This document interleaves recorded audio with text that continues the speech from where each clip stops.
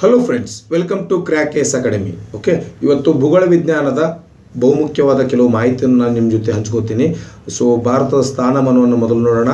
ಭಾರತವು ಉತ್ತರಾರ್ಧಗೋಳದ ಪೂರ್ವ ಭಾಗದಲ್ಲಿದೆ. ಅಂದರೆ ನಾವು ಒಟ್ಟು ಭೂಗೋಳವನ್ನು ಉತ್ತರಾರ್ಧ ಮತ್ತು ದಕ್ಷಿಣಾರ್ಧ ಅಂತ ನಾವು ಏನು ಡಿವೈಡ್ ಮಾಡ್ತೇವೆ ಅಂದರೆ northern hemisphere and southern hemisphere so Bharat ಸ್ಥಾನಮಾನ ಇರೋದು ಉತ್ತರಾರ್ಧಗೋಳ ಅಂದರೆ ನಾರ್ದರ್ನ್ ಹೆಮಿಸ್ಫಿಯರ್ನ ಈಸ್ಟರ್ನ್ ಸೈಡಲ್ಲಿದೆ ಓಕೆ ಇದು ಏಷ್ಯಾದ ಅತಿ ದೊಡ್ಡ ಪರ್ಯಾಯ ದ್ವೀಪವಾಗಿದೆ ಓಕೆ ಇನ್ನು ಭಾರತದ ಏನು ಸ್ಥಾನಮಾನವನ್ನು ನೀವು ಅಕ್ಷಾಂಶ ಮತ್ತು ರೇಖಾಂಶದಲ್ಲಿ ನೋಡಬೇಕಾದ್ರೆ ಭಾರತವು ಏಟ್ ಪಾಯಿಂಟ್ ಫೋರ್ ಉತ್ತರ ಅಕ್ಷಾಂಶದಿಂದ thirty seven point six degree ಉತ್ತರ ಅಕ್ಷಾಂಶದವರೆಗೆ ಹರಡಿದೆ. ಓಕೆ ದೀಪಗಳನ್ನು ಹೊರಪಡಿಸಿದಾಗ, ದೀಪಗಳನ್ನು ಪರಿಗಣಿಸಬೇಕಾದ್ರೆ ಉತ್ತರ ಅಕ್ಷಾಂಶ ಏಟ್ ಪಾಯಿಂಟ್ ಫೋರ್ ಡಿಗ್ರಿ ಬದಲಿ ಸಿಕ್ಸ್ ಪಾಯಿಂಟ್ ಫೋರ್ ಫೈವ್ ಆಗುತ್ತೆ. ಯಾಕಂದರೆ ಅಂಡಮಾನ್, ನಿಕೋಬಾರ್ ದೀಪಗಳು ಅಥವಾ ಈ ಲಕ್ಷದ್ವೀಪ ದೀಪಗಳು ನೋಡಿರ್ಬೇಕು ನೀವು.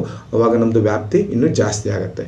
ಇನ್ನು ರೇಖಾಂಶವನ್ನು ನೋಡಬೇಕಾದ್ರೆ sixty eight point seven degree ಪೂರ್ವ ರೇಖಾಂಶದಿಂದ ninety seven point two five ಪೂರ್ವ ರೇಖಾಂಶದವರೆಗೆ ವ್ಯಾಪಿಸಿದೆ. ಇದು ಭಾರತದ ಒಟ್ಟು ಏನು?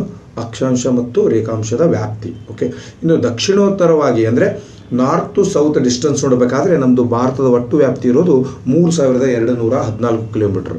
ಒಂದು ಪೂರ್ವದಿಂದ ಪಶ್ಚಿಮಕ್ಕೆ ನೋಡಬೇಕಾದ್ರೆ ಅಂದರೆ ಈ ಗುಜರಾತಿಂದ ಅರುಣಾಚಲ ಪ್ರದೇಶ ಡಿಸ್ಟೆನ್ಸ್ ನೋಡಬೇಕಾದ್ರೆ ಅದು ಎರಡು ಸಾವಿರದ ಒಂಬೈನೂರ ಮೂವತ್ತ್ಮೂರು. ಕಾಶ್ಮೀರದಿಂದ ಕನ್ಯಾಕುಮಾರಿ ಅಂದರೆ ದಕ್ಷಿಣ, ಉತ್ತರ ಡಿಸ್ಟೆನ್ಸ್ ಬಂದ್ಬಿಟ್ಟು three thousand two hundred fourteen kilometre ನಿಮ್ಗೆ ಕೇಳ್ಬೋದು statement which of the following statements are true ಅಂತೇಳಿ ಮೊದಲ ಸ್ಟೇಟ್ಮೆಂಟು ದಕ್ಷಿಣ ಉತ್ತರವಾಗಿ ಭಾರತದ ವ್ಯಾಪ್ತಿ ಏನು ಪೂರ್ವದಿಂದ ಪಶ್ಚಿಮಕ್ಕೆ ಕಂಪೇರ್ ಮಾಡಿದರೆ ಕಡಿಮೆ ಇದೆ ಅಂತ ಒಂದು ಸ್ಟೇಟ್ಮೆಂಟ್ ಕೊಡ್ಬೋದು. ಬಟ್ ನಿಮ್ಗೆ ಗೊತ್ತಿರಬೇಕು ದಕ್ಷಿಣೋತ್ತರವಾಗಿ ಡಿಸ್ಟೆನ್ಸು ಪೂರ್ವ ಪಶ್ಚಿಮಕ್ಕೆ ಡಿಸ್ಟೆನ್ಸ್ಗಿಂತ ಹೆಚ್ಚಿದೆ. ಓಕೆ ಅದನ್ನು ಗೊತ್ತಿದ್ರೆ ನಿಮಗೆ ಆನ್ಸರ್ ಮಾಡಲಿಕ್ಕೆ ಅನುಕೂಲ.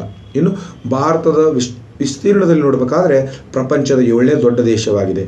ಕೆನಡಾ, ರಷ್ಯಾ ಅಲ್ಲೇ ಅತ್ಯಂತ, ಅತಿ ದೊಡ್ಡ ದೇಶ. ನಂತರ Canada, China U S A Brazil, Australia. ನಂತರದ ಸ್ಥಾನ ಭಾರತಕ್ಕಿದೆ. ಪ್ರಪಂಚದ ಒಟ್ಟು ಎರಡು ಪಾಯಿಂಟ್ ನಾಲ್ಕರಷ್ಟು ಭೂಭಾಗವನ್ನು ಭಾರತವು ಆಕ್ರಮಿಸಿದೆ. ಓಕೆ? ಸೊ ಇಷ್ಟು ಬೇಸಿಕ್ ಮಾಹಿತಿ. ಆಮೇಲೆ, ಇನ್ನು ಭಾರತ ತುತ್ತು ತುದಿಗಳು, ಅಂದರೆ ಉತ್ತರದ, ಅತಿ ಎತ್ತರದ, ಅಂದರೆ, ಉತ್ತರದಲ್ಲಿ ಯಾವುದು ತುತ್ತು ತುದಿ ಪಾಯಿಂಟ್ ಇದೆ? ದಕ್ಷಿಣದಲ್ಲಿ ಯಾವುದೇ ಪಶ್ಚಿಮದಲ್ಲಿ ಯಾವುದೇ ಪೂರ್ವದಲ್ಲಿ ಯಾವುದೇ ನೋಡಬೇಕಂದ್ರೆ ಉತ್ತರದಲ್ಲಿ ಇಂದಿರಾ ಕೋಲ್, ಜಮ್ಮು ಕಾಶ್ಮೀರದ ಸಿಯಾಚಿನ್ ಗ್ಲೇಷಿಯರ್ ಇದೆಯಲ್ಲ, ಆ ಪ್ರದೇಶದಲ್ಲಿ ಇದೆ. ಇದಕ್ಕೆ ಇಂದಿರಾ ಕೋಲ್ ಅಂತವೆ. ದಕ್ಷಿಣದಲ್ಲಿ ನೋಡಬೇಕಾದ್ರೆ ಕನ್ಯಾಕುಮಾರಿ ಮತ್ತು ಕೇಪ್ ಕ್ಯಾಮೋರಿನ್. ಬಟ್ ನೀವು ದ್ವೀಪಗಳನ್ನು ಪರಿಗಣಿಸಿದರೆ ನಮ್ಮದು ದಕ್ಷಿಣ ಅಂದರೆ ತುತ್ತದ ಯಾವುದಾಗುತ್ತೆ? ಇಂದಿರಾ ಪಾಯಿಂಟ್ ಅಥವಾ Pygmalion point in Andaman Nicobar. ಇವೆರಡು ಇನ್ನು ದಕ್ಷಿಣದ ತುತ್ತ ತುದಿ ಆಗ್ತವೆ. ಪೂರ್ವದಲ್ಲಿ ನೋಡಬೇಕಾದ್ರೆ ಅರುಣಾಚಲ ಪ್ರದೇಶದ ಕಿಬೂತು ಆಮೇಲೆ ಪಶ್ಚಿಮದಲ್ಲಿ ಗುಹಾರ್ ಮೋತಿ, ಗುಜರಾತ್ ಏನು ರಾಜ್ಯದಲ್ಲಿದೆ. ಇವು ಕೂಡ ಮಾಹಿತಿ ತುಂಬ ಇಂಪಾರ್ಟೆಂಟ್ ಆಗುತ್ತೆ ಎಕ್ಸಾಮ್ ದೃಷ್ಟಿಯಿಂದ. ಆಮೇಲೆ ಈ ಮಾಹಿತಿ ಇದೆಯಲ್ಲ ಇದು ಕೂಡ ತುಂಬ ಇಂಪಾರ್ಟೆಂಟು ಅಂದರೆ ಭಾರತದ ಮೂಲಕ twenty three point five degree ಉತ್ತರ ಅಕ್ಷಾಂಶ ಹಾದೋಗುತ್ತೆ. ಇದಕ್ಕೆ ಏನಂತೇವೆ? ಕರ್ಕಾಟಕ ಸಂಕ್ರಾಂತಿ ವೃತ್ತ ಅಂತೇವೆ ಇದು. ಭಾರತದ ಮಧ್ಯಭಾಗದಲ್ಲಿ ಹಾದೋಗುತ್ತೆ. ಇದು ಭಾರತದ ಒಟ್ಟು ಎಷ್ಟು ರಾಜ್ಯಗಳ ಮೇಲೆ ಹಾದೋಗುತ್ತೆ ಅನ್ನೋದು ಇಂಪಾರ್ಟೆಂಟ್ ಆಗುತ್ತೆ. ಒಟ್ಟು ಎಂಟು ರಾಜ್ಯಗಳ ಮೇಲೆ ಹಾದೋಗುತ್ತೆ. ನಿಮ್ಗೆ ಕೇಳ್ಬೋದು.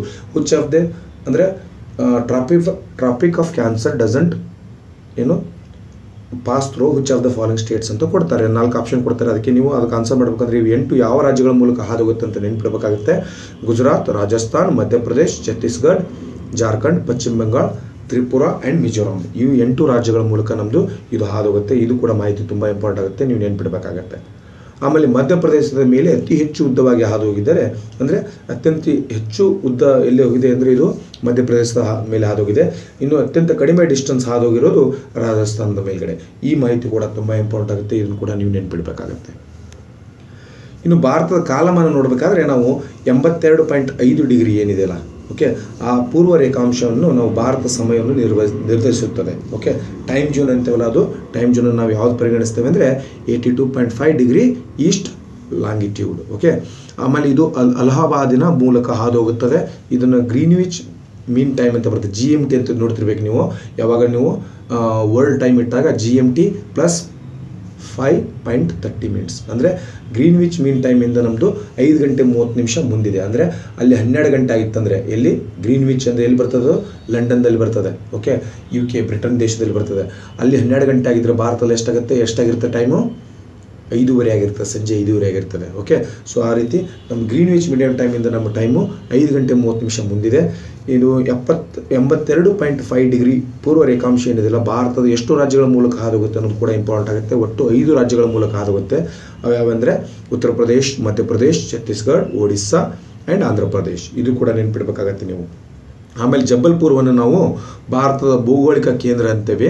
ಭಾರತದ ಮಧ್ಯಭಾಗವಾಗಿದೆ. ಯಾಕಂದರೆ ಇದು ಏಯ್ಟಿ ಡಿಗ್ರಿ ಪೂರ್ವ ರೇಖಾಂಶ ಮತ್ತು ಇಪ್ಪತ್ತ್ಮೂರು ಪಾಯಿಂಟ್ ಫೈವ್, ಉತ್ತರ ಅಕ್ಷಾಂಶ, ಅಕ್ಷಾಂಶಗಳ ಸಂಧಿಸುವ ಸ್ಥಳವಾಗಿದೆ. ಅದು ಯಾವುದು ಜಬ್ಬಲ್ಪುರಿ ನೀವು ಡಯಾಗ್ರಾಮಲ್ಲಿ ನೋಡ್ಬೋದು. ಸೊ ಇದು ಭೂಗೋಳದ ಸ್ವಲ್ಪ ಕೇವಲವು ಮುಖ್ಯವಾದ ಮಾಹಿತಿ ನಿಮಗೆ ಪ್ರಿಲಿಮ್ಸ್ ಆಗಿರ್ಬೋದು ಅಥವಾ ಕೆ ಪಿ ಎಸ್ ಎಕ್ಸಾಮ್ಸ್ ತುಂಬ ಇಂಪಾರ್ಟೆಂಟ್ ಆಗುತ್ತೆ. ಓಕೆ ನಿಮಗೆ ಹೆಚ್ಚಿನ ಮಾಹಿತಿಗಾಗಿ ಕ್ರ್ಯಾಕ್ ಕೆ ಎಸ್ ಅಕಾಡೆಮಿಯ ಯೂಟ್ಯೂಬ್ ಚಾನಲ್ ಇದೆ. ಅದಕ್ಕೆ ಸಬ್ಸ್ಕ್ರೈಬ್ ಆಗಿ. ಮತ್ತು ನೀವು ಟೆಲಿಗ್ರಾಮ್ ಆ್ಯಪ್ ಇನ್ಸ್ಟಾಲ್ ಮಾಡಿಕೊಂಡು ಅಲ್ಲಿ ಕ್ರ್ಯಾಕ್ ಕೆ ಎಸ್ ಇಲ್ಲಿ ಏನಿದೆಯಲ್ಲ ಕ್ರ್ಯಾಕ್ ಕೇಸ್ ಅಂತ ಸರ್ಚ್ ಮಾಡಿದ್ರೆ ನಮ್ಮ ಅಕಾಡೆಮಿ ಟೆಲಿಗ್ರಾಮ್ ಚಾನಲ್ ಬರ್ತದೆ. ಅದನ್ನು ಕೂಡ ನೀವು ಜಾಯ್ನ್ ಆಗ್ಬೋದು.